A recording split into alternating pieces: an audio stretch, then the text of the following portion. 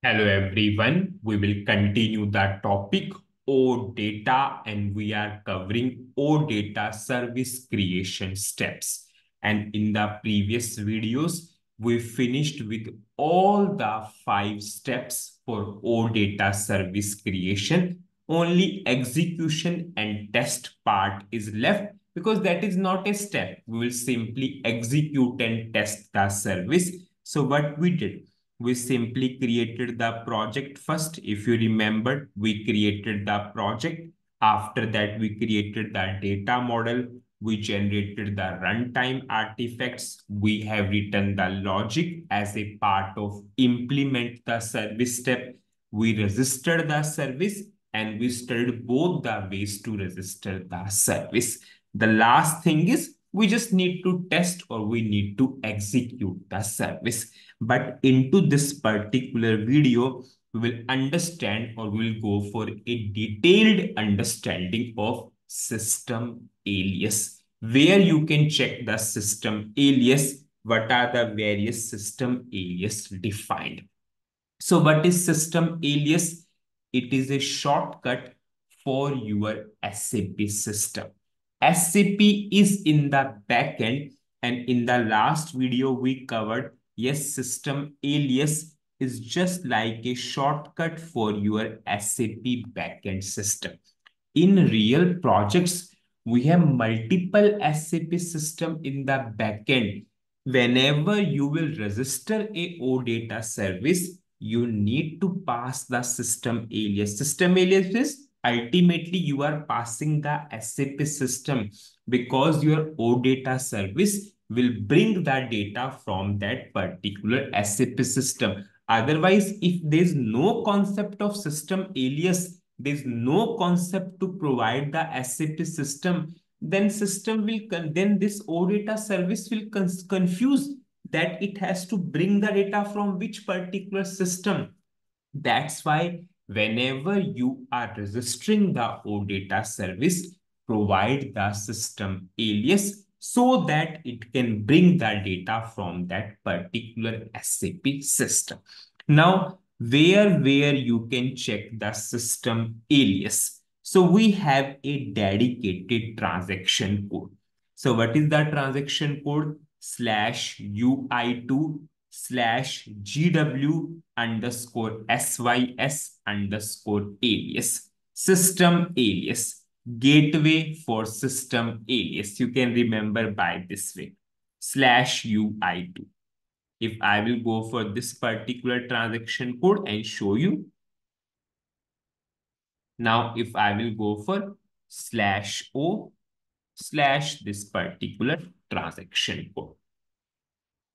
Now you can see the title bar is itself manage SAP system aliases never never do any system alias by your own. Suppose if you are doing for learning purpose also it's a humble request.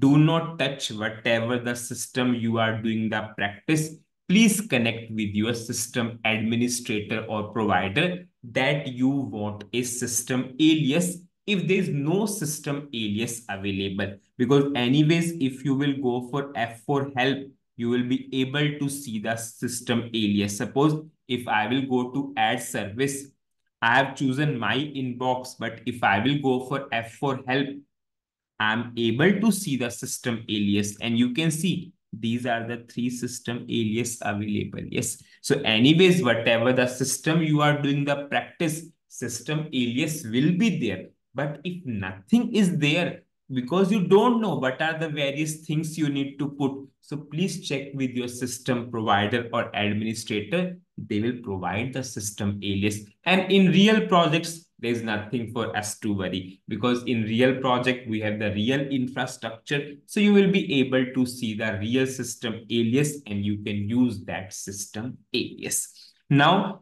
if you do, do not want to go by this way, suppose if you do not want to go by this particular transaction code. So just what you can do, go for SM30 transaction code. Suppose if you want to go by this way, you can go by this way also. You can go to SM30 transaction code. This is the name of the view. If you pass this particular view, now simply click on to edit or maintain button you can see we are able to see same to same kind of screen. So this is the way or this is the transaction code. With the help of this transaction code, SAP basis person or system administrator maintain the system alias and we are simply, simply using those system alias. Now we will go for another important point and this question will come into so many people mind. Okay, people will say whenever you showed us the first way, whenever you showed us the first way to register the OData service, at that time you have not passed any system alias. Yes, whenever you have shown us the second way, yes, at that time you are passing the system alias that we understood. But whenever you are going by first way, at that time which system alias this which particular system alias it will put, put it will just pick. Because here we are not passing any system alias. So what i will do i will just delete. Then i will simply generate by this way and show you which system alias it is picking. Suppose if i will go for deletion. Suppose if i will go for filter this is the transaction code. Sorry, this is the technical service name. Sorry. Now I will simply remove. This is the system alias you'd see, which I provided. Yes, I'm removing. I'm simply deleting. Now I'm deleting the registration. Now I will do the registration again by the first and then I will show you which system alias it is picking. Because in the first way, there's no provision to provide the system alias.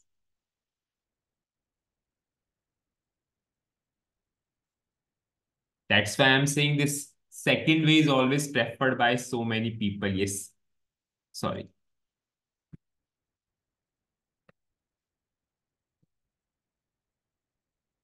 Suppose I'm going for this particular project, service maintenance. Now I'm doing the registration. Now you can see there's no registration. I will simply click on to register service. Now I will simply go for local object.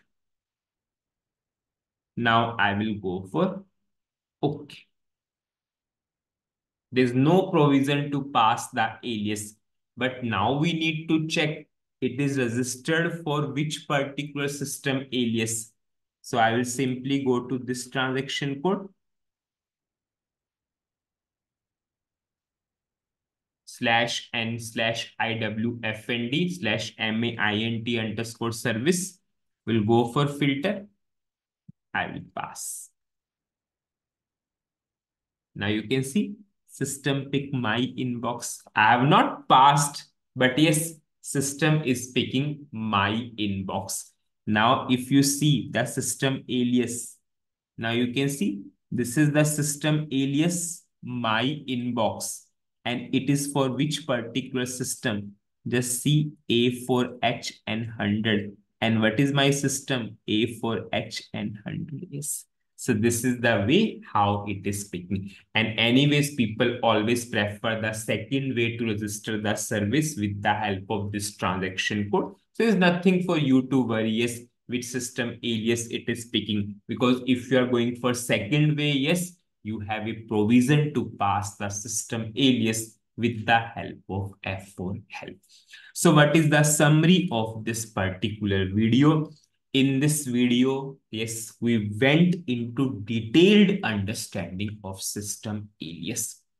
Because whenever you will register a service, you need to tell SAP that, yes, your OData service is below your OData service belongs to this particular system alias. This OData service belongs to this particular SAP system because in real project you have multiple SAP system. If you are not providing the system alias or system name, you if I'll go for the best word, then OData service will confuse that it has to bring the data from which particular SAP system. So we are registering into that particular system alias, it means that particular SAP system. Now, whenever you want to see the system alias, you can simply check with the help of this transaction code. If you do not want to go by this transaction code, go for SM30 and pass the name of this particular view. Never maintain system alias by your own.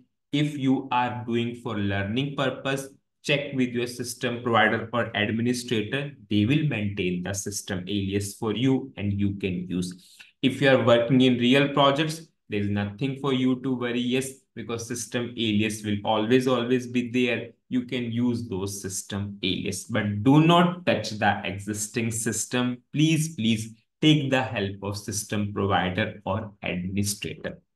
Then after that, people will ask the question, yes, in the first way of register the OData service, you have not provided any system alias, then which system alias it is picking? Yes, so I simply deleted and registered the service again. And I showed you it is simply picking my inbox because this system alias is for this particular SAP system and client number. So it is picking this. And anyways, second way is always, always preferable. So there's nothing for you to worry. Just check the F4 help of the system alias and pass. Now in the next video, we'll simply, simply execute or test our OData service and that will finish our first simple example of full, full detailed example of our creation of OData service. So that's it in this video. Thank you.